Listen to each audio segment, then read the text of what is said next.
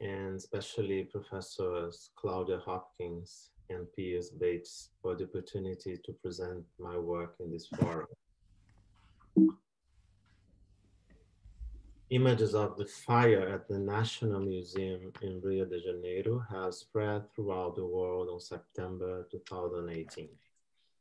Among the precious collections of the first museum created in Brazil in 1818, there was one of pieces seized by the police in Afro-Brazilian religious communities in 1880s.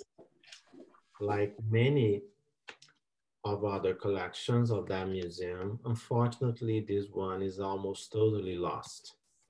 Although some pieces have survived, there are photographic records for the and the catalog of Kumbukumbu, the last exhibition held with it. The loss is irreparable. The, man, the damage caused to that collection is a terrible fact and unfortunately an additional chapter in the troubled history of the social insertion of Afro-Brazilian religious artifacts.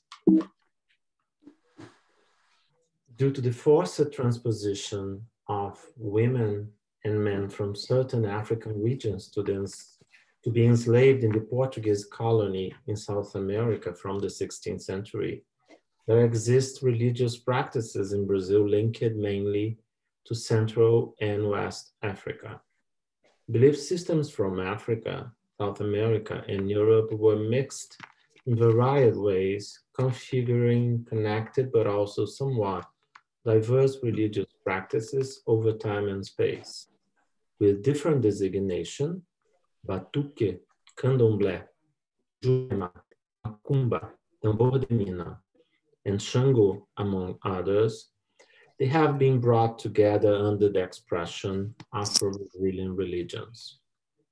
From the collusion between Catholicism and Portuguese colonialism, which persisted after Brazil became an independent nation in 1822, these religions practices continued to be persecuted and marginalized. Its people, their rights and values, as well as the material culture they created and used, were relegated to the margins, when not social limbo. After the official end of slavery in the country, in 1888 and the change of Brazil's political regime from Catholic monarchy to secular republic in the following year, the social situation of these religions had not improved.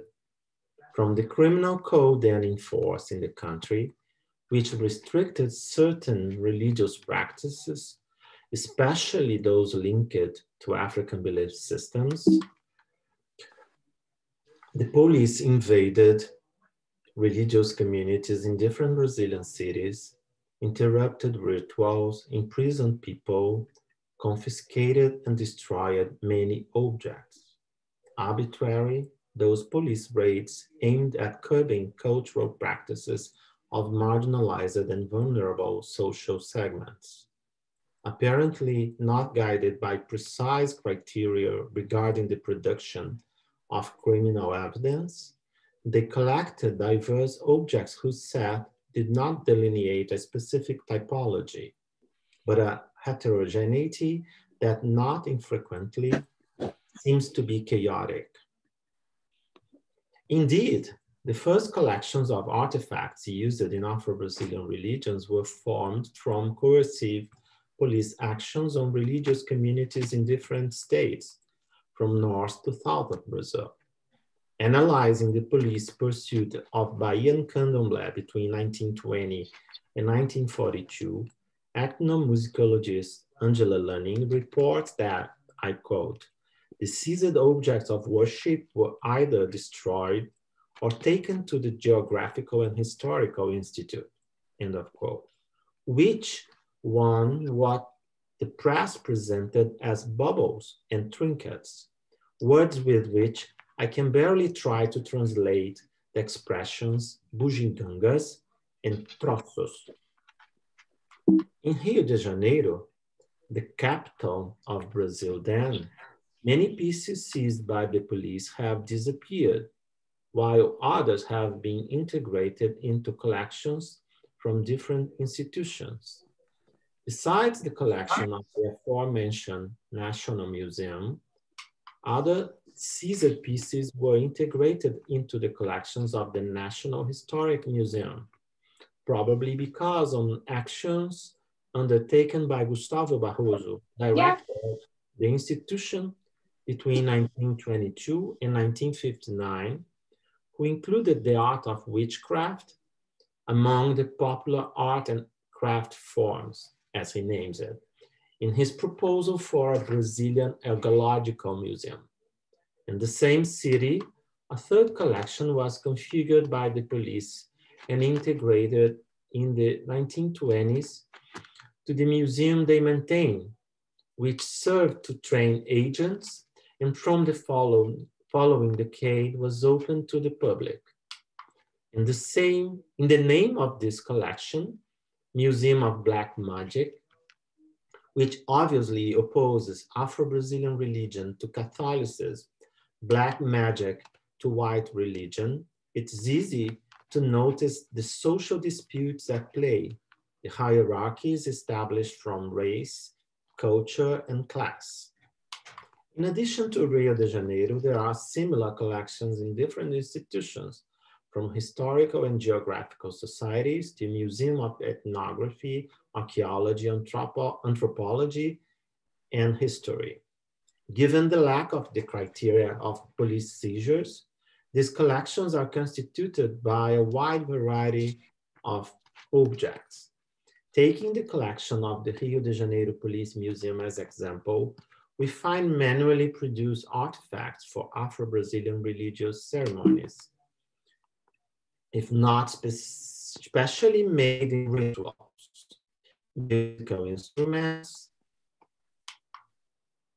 clothing, and other elements used by deities to store things, drink, and smoke during the trance, as well as part of sacred composite objects that embody deities and enchanting artifacts like this bottle or these dolls. But in that collection, there are also objects not restricted to the religious sphere, such as a notice board and a firul, which were adapted to ritual uses, and artifacts also related to other mythologies and religions, like a mermaid and some images that would supposedly be exclusive to the Catholic realm not to mention pieces industrially manufactured, utilitarian or not, such as a smoke package and even a German-made felt doll representing an African warrior. Sometimes the police actions were reported by the press with texts and images of police raids, arrests of religious people, and seizures of objects. However, the situation of African-based religions in Brazilian society was anything but univocal. If it horrified those who had European bourgeois way of life as a model of modern civilization, it did not fail to make a huge attraction. In fact, many of those who persecuted those religious practices publicly attended them in secret, as João do Rio observed in his 1904 journalistic report about religions in Rio de Janeiro, republished as a book, which was an editorial, a great editorial success. Analyzing uh, criminal prosecutions that imprison many religions, people, anthropologist Yvonne Maggie concludes that belief and fear of sorcery affected people of all classes. She argues that repression was inscribed in the belief realm and served to organize the religious field with the participation of the followers of these religions themselves, trying to distinguish the good from the bad religious leaders, those who did witchcraft and misused their supernatural powers from those who used their powers for good. Thus, the existence of studies with varied intentions and tones about Afro-Brazilian religions, published in newspapers, weekly magazines, academic and avant-garde journals and books, is not surprising. While some of these studies contributed to the maintenance of prejudice, on the other hand, they helped to affirm the public existence of those religions practices. In addition to disseminating information about them, their agents and their material culture, contributing for its preservation. It's noteworthy how some of these studies include mentions to these religious material culture, not only as a criminal evidence, which were sometimes accompanied by photographs and drawings of artifacts, such as those by Fernando Correia Dia, a Portuguese artist based in Brazil then, and journalist, Brazilian journalist Armando Magalhães Correia. In such a way that while some pieces moved from terreiros to police stations and from these to archives, museums, historical and geographical institutes, the images of some objects circulated from newspapers to artistic studios, transiting through different media from photographs to drawing and paintings. In this process, we can observe the preference for certain objects, mainly anthropomorphic sculptures. It's the case of an Oxê, a wooden axe, an insignia of the Orisha Shango from an unknown religious community that reached the collection of the National Museum. First, its photograph illustrated the text of Etienne Brasil in 1911. Magalhães Correa draw and included it in his 1932 article, and the Ukrainian living in Brazil painter Dmitry Ismailovich included it in one untitled 1940 canvas with other African and Afro-Brazilian elements. Unfortunately, this Oxê is one of the pieces that existed until the fire devoured the National Museum's collection in September 2018. Artists affiliated to different aesthetic trends were interested in Afro-descendants and their culture. Evidence of this process is easily found in the artistic production of that period in Brazil. Spanish Modesto Brocos, Lithuanian Lasar Segall, and Brazilian Cândido Portinari, among other artists, who interested in people of African descent and their culture. As I said earlier, Africanism is one important aspect of artistic modernity in Brazil since the end of 19th century. If many of them came to portray real, idealized, or stereotyped African and Afro descendants to represent scenes of their cultural living practices and even some Afro-Brazilian rituals few attempt specifically to the artifacts manufactured and used in those codes. Among this field, I highlight specifically specific works made by Fernando Correia Dias, Cecília Meireles, Armando Magalhães Correia, Oswaldo Goeldi, and Dmitry Ismailovich. However, they went little further than figuring these objects, not even considering them as paradigms of the renewal of artworks, artisanal or industrialized objects. In Brazil, few artists became interested in the material culture of Afro-Brazilian religions, but took it more as a theme than as a visual reference for their works and apparently they had no contact with the critical texts that thought those artifacts as art at the same time. These artists represented exotic objects in an iconic way, but did not use them in a structural review of artistic representation codes, as did Picasso, Matisse, and other artists, and on which Daniel Kahnweiler and Carl Einstein theorized. What indicates the limits both of how these Brazilian artists assimilated post-Cubist art and of how they related to Africans and, Af and people of African descent in Brazil. For them, the material culture of African-based religions was a reference of cultural otherness, but not an artistic paradigm.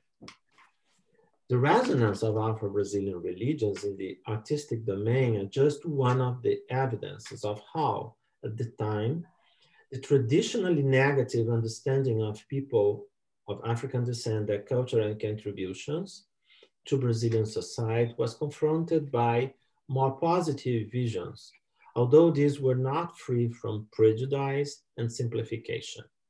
In this process, one important fact is to the recognition of part of the collection of Afro-Brazilian religious artifacts from the Police Museum in Rio de Janeiro as Brazilian national heritage by the National Historic and Artistic Heritage Institute in 1938 an exceptional action in many aspects. However, it's worth mentioning that the collection was inscribed still as Museum of Black Magic, not in the Book of Artistic Heritage, but in the Book of Archaeological, Ethnographic, and Landscape Heritage. The architectural vagueness of this Ismailovich canvas, whose pointed art is not found in the National Muse Museum, nor is it particularly characteristic of police stations or religious communities, can be associated with the institutional and social indeterminacy of these artifacts. In short, Afro-Brazilian religious artifacts, which existed in social marginality, were sometimes apprehended by the police, being framed as criminal evidence and used for didactic purpose in the training of state agents of police control, were also sometimes publicly presented by the press, artistically figured, ethnographically valued, and even considered as national emblems.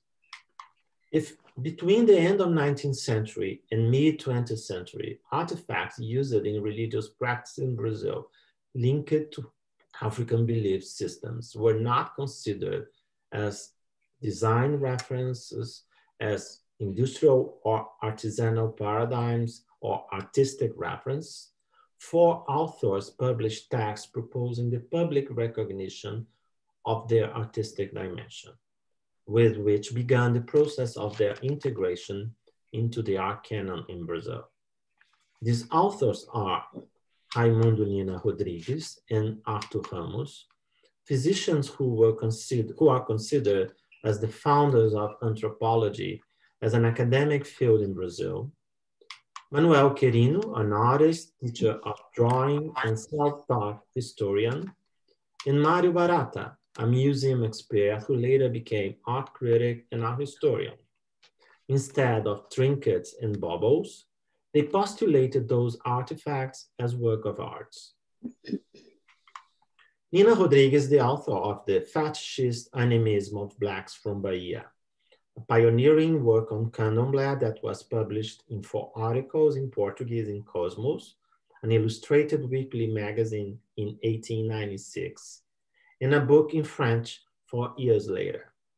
The artifacts used in the rituals have no greater prominence in that work due to its broad character, but were studied by the author in fine arts among the black settlers in Brazil, sculpture, an article published in the same magazine in 1904.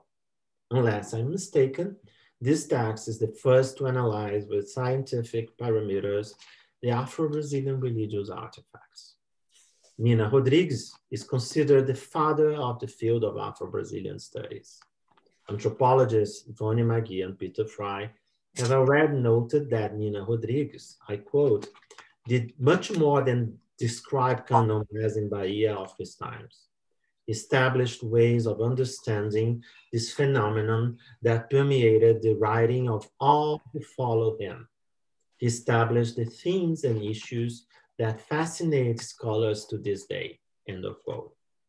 In my view, it's not different with the artistic dimension of the Afro-Brazilian religious artifacts. The best example is Artur Ramos, whose professional intellectual trajectory has points of proximity and distance from Nina Rodrigues. Among many consonants, it's worth remembering that in 1935, Ramos reedited The Fetishist Animism of Blacks from Bahia, collecting the articles that have been published in Portuguese and comparing them with the text of the French book edition. However, it should be noted that in 1938, Ramos also re-edited some essays by Manuel Querino in the volume African in which is included the African race and its customs in Bahia, a text that Querino presented at the fifth Brazilian Congress of Geography held in Salvador in 2012 and first published in the event's proceedings in 1916.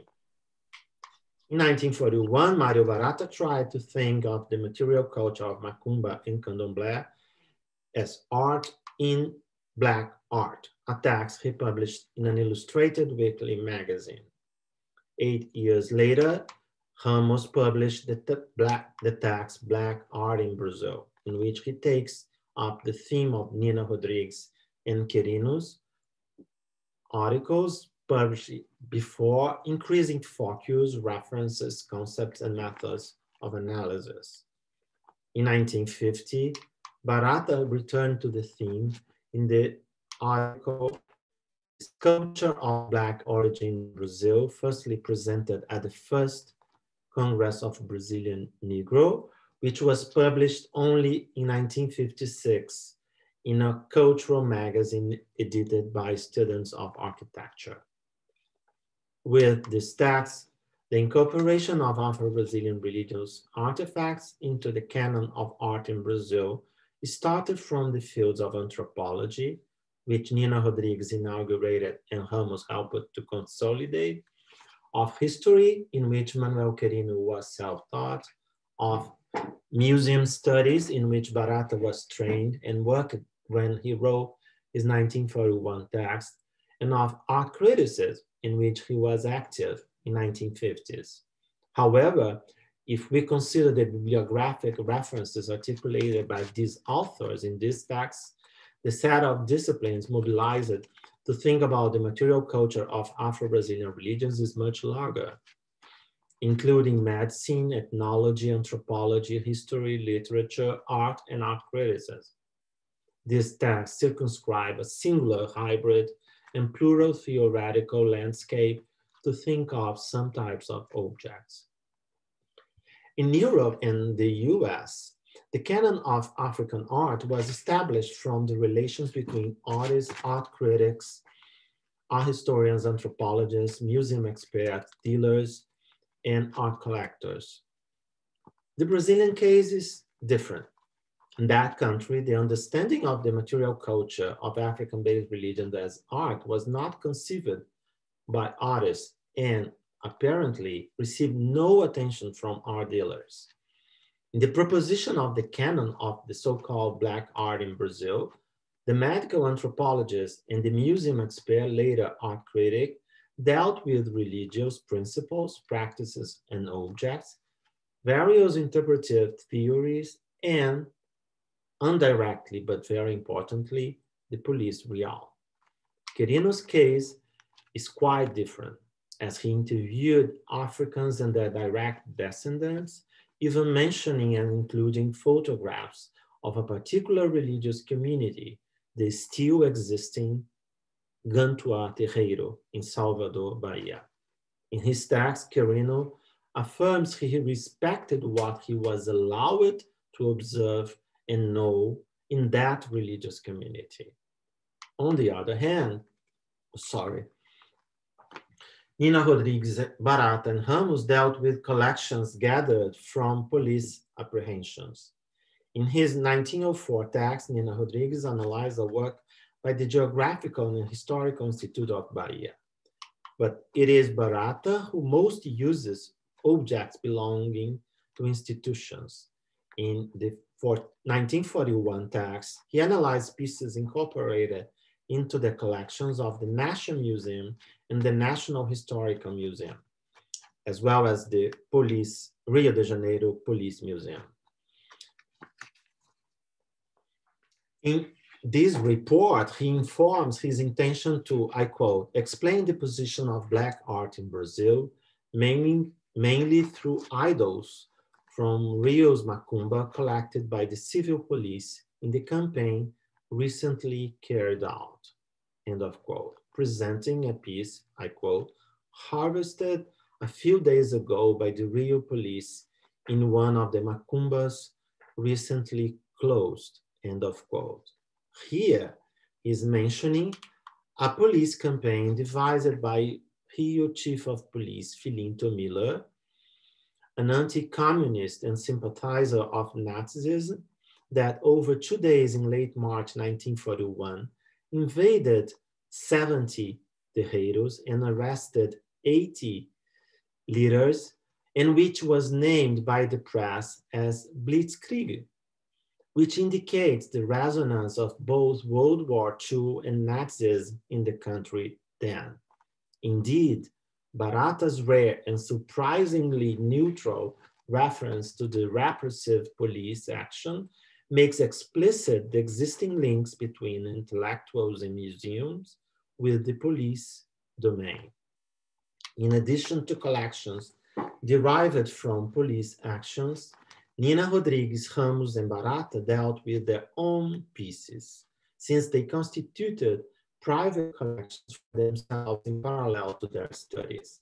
However, their collections were forged not only with scientific theories, fieldwork, artistic and cultural values, but also resulted from police actions, as evidenced by the references to those actions and the resulting collections in their texts. Therefore, police officers operating in raids and police stations should be seen as the primary and apparently involuntary and unconscious curators of public collections of, of Afro-Brazilian religions artifacts. Thus, state control and repression of Afro-Brazilian religions determined to varying degrees the selection of much of the pieces that they have been preserved and appreciated as art, a process that still affects public and private collections, critical appraisals, and the Afro-Brazilian artistic canon. Nina Rodrigues, Barata, and Ramos were not selected from values judgments shared by the creators or users uh, the, the, items they collect were not selected by judgments shared by the creators and or users in the religious realms. Perhaps the values and judgments shared by the creators and users of those artifacts have affected these later critics in the composition of their private collections, but they certainly interfered very little in the selective process of the pieces seized by the police like the police officers, these authors acted with limited choice. In addition to not having plans to systematically collect the material culture of Afro-Brazilian religions, the police officers had to select the criminal evidences from sets of objects found in varied contexts and casual circumstances, which were not necessarily the best examples of the entire material culture of that religious universe. The critics, in turn, dealt with the somewhat arbitrary collection generated by police seizures, and on the other hand, composed their private collections based on their knowledge and interests, which helps to understand why Nina Rodrigues Ramos and Barata did not analyze all types of artifacts manufactured and used in the Afro-Brazilian religious realm. nor did they even fully study the collection created from police stations, for police actions. Faced with such heterogeneous set of objects, they fall short of the material complexity of the Afro-Brazilian religious universe and the diversity inherent to those seizures and collections, both in what they select to analyze and in the collections generated from police seizures and in what they chose to acquire for themselves. These authors almost always dealt with object typologies similar to those of European artistic culture. They departed from what they understood as an art object and did not think the specificity of those religions and their material culture. It's not by chance that both Nina Rodrigues and Barata's second text, separated just half a century, focus on the same type of object, sculpture, the artistic category most associated with African culture since the beginning of 20th century. Differently, Querino presented the fetishist cult as he names the religion of the Orishas, its deities, their symbolic attributes, and many rituals, space, objects, and outfit, as well as its many specific terms. Although he presents Bahian cuisine as art in a text that was published posthumously in 1928, in his 1916 text, he connects only a small part of the material culture of this religion to art, addressing the industry of religious people of African descent, the knowledge of ritualistic making or transforming places, things and bodies. He observes that tendency towards the liberal arts exclusively in the sculpture of fetish symbols, as, as he named it, perhaps due to the criteria learned in his fine arts training. It's noteworthy that in his two 1909 books dedicated to recover trajectories and achievements of artists born or working in Bahia, he even includes technical and manual workers revealing an understanding of art beyond traditional artistic categories that can be connected to his labor act activism, but without mentioning the Afro-Brazilian religious realm. Qualifying as art was not necessarily considered as such by the creators and users of those religious artifacts. These four authors did not ask to practitioners of African-based religions what things could be qualified as works of art according to the values and aesthetic principles at stake at that religious universe. In the cases of Nina Rodrigues, Barata, and Ramos, they did not notice or consciously decided to silence about many artifacts, which remained in critical limbo because they were not even qualified as utilitarian objects or sacred images. However, to be fair to these authors, it's necessary to point out that especially Nina Rodrigues and Ramos, but also Barata in his first text, thought to combine European artistic categories with ethnological and anthropological principles in their analysis of the material culture proper to Afro-Brazilian religion which led them to incorporate other types of artifacts in their texts. Nina Rodrigues presents ceremonial insignia as sculptures, and Barata considers ceramic pots as art.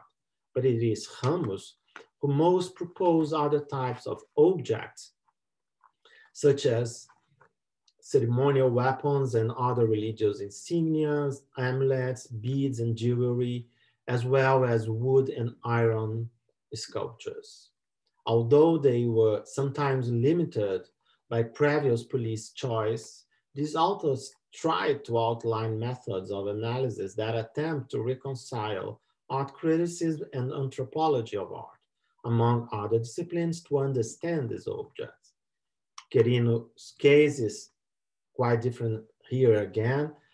As he virtually embraces people, rituals, and material culture in his study, but draws only sculpted images to the artistic category.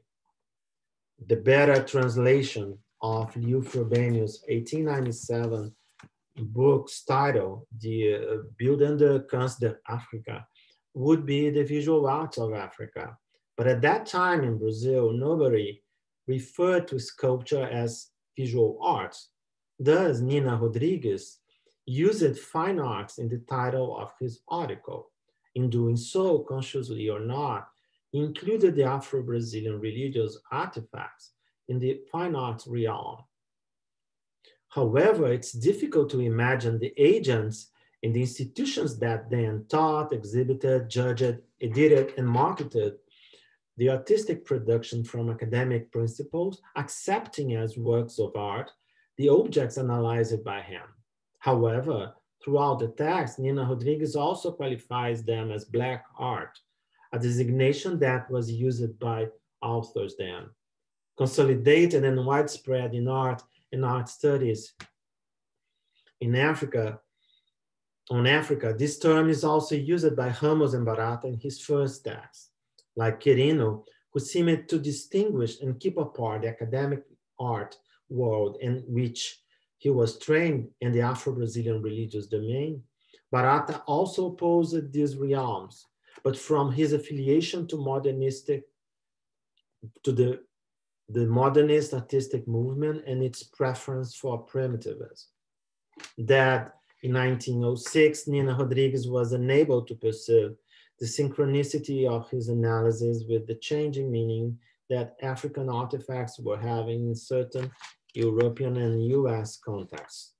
It does not seem that Querino knew about this change, and if he did, he did not adhere to it.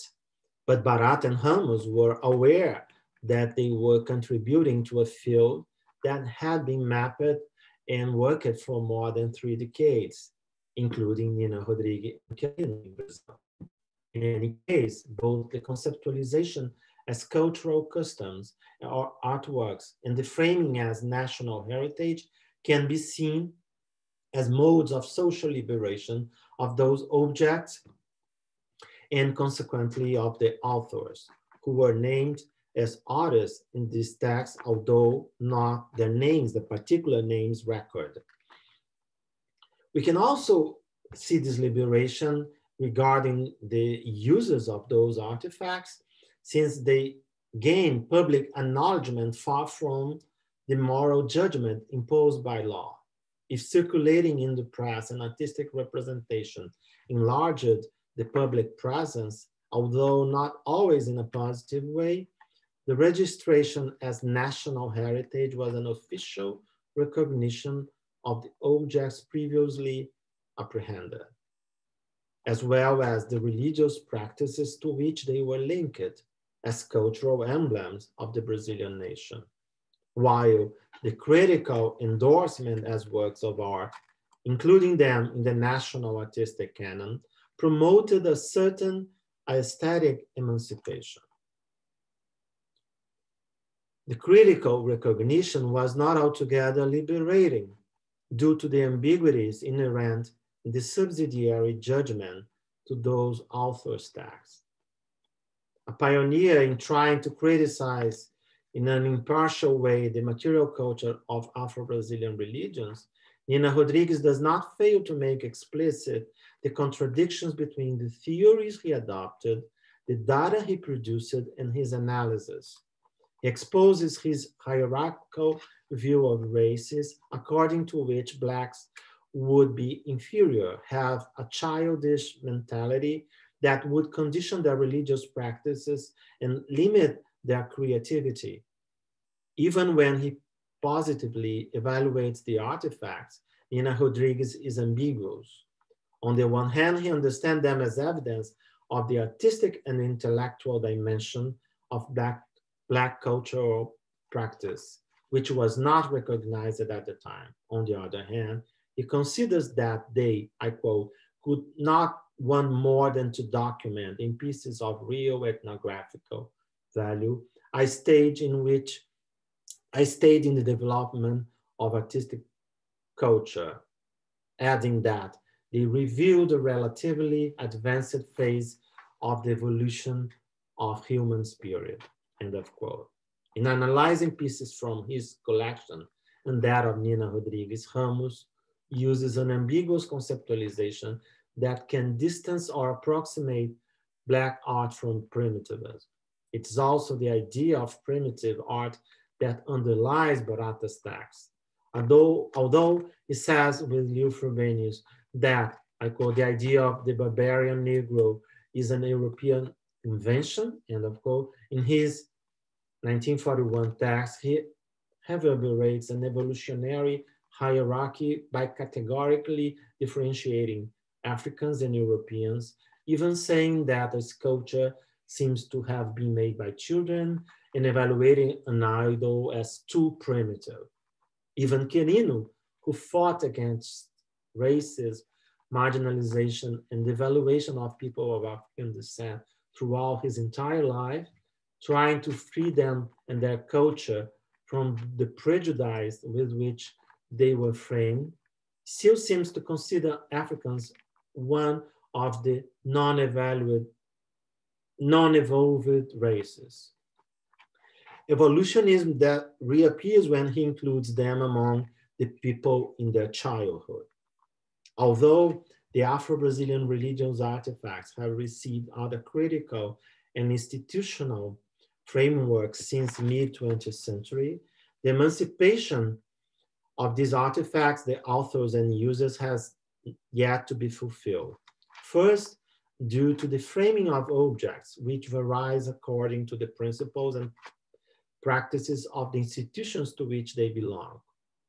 According to the, their varied institutionalization, these objects undergo different conceptual frameworks and can be presented as criminal evidences or works of art, historical documents, or anthropological records. This does not fail to highlight the complexity of these artifacts and collections, as well as how idiosyncratic archives and museums can be.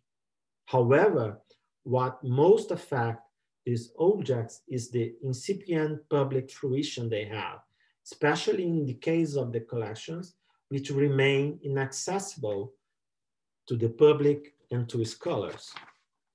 To start concluding, I remember that in 1920, French writer, art critic, and collector Félix Fénéon conducted an enquete in the Bulletin de la Vie Artistique interrogating as to when the so-called primitive arts would be admitted to the Musée du Louvre, which eventually only occurred in the passage to the 21st century when some African artifacts started to be exhibited in its Pavillon des Sessions.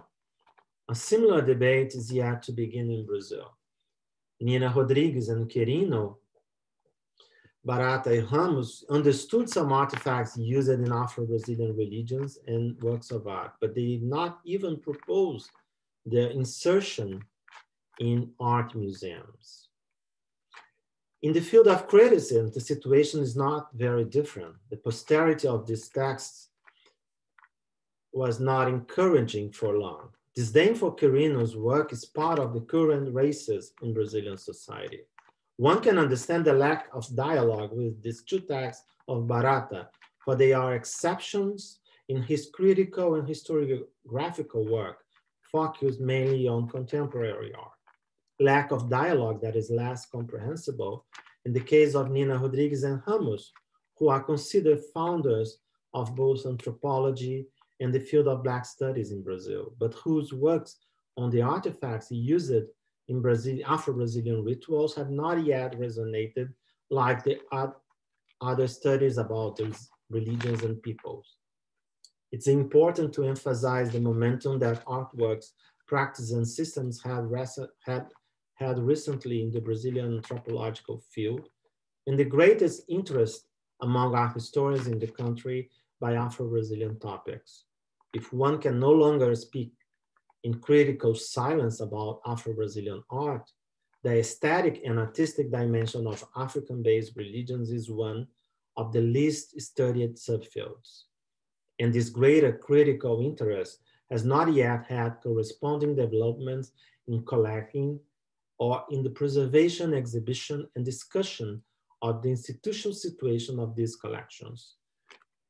The institutional invisibility and the restrictions to full public resonance persist, composing the contemporary prejudice, constraints, and violence against Afro-Brazilian religions, its beliefs, imaginaries, and material culture.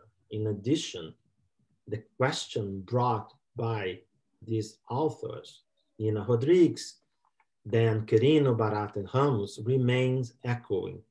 Should we consider these bubbles and twinkles as works of art?